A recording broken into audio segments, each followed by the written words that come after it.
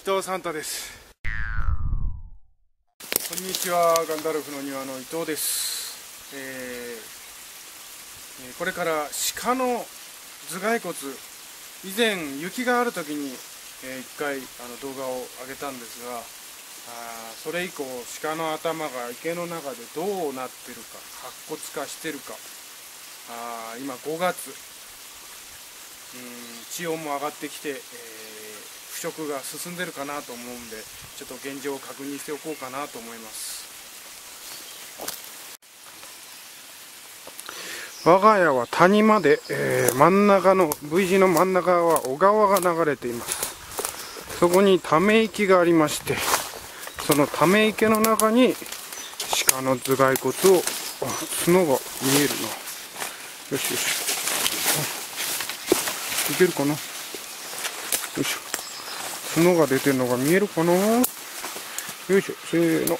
あー。よっこいせ。よいしょ。笹が邪魔だな。よいしょ。さあ。ちょっと引っ張ってみますね。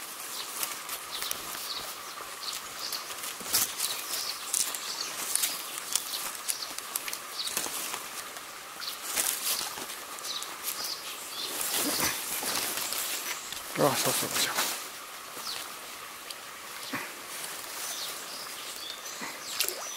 うん。まだ肉がついてる。皮も見えるな。ああちょっと泥で濁ってきちゃっ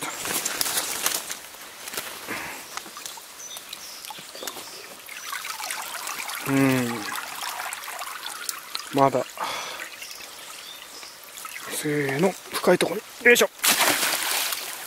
よいしょ。沈んでった。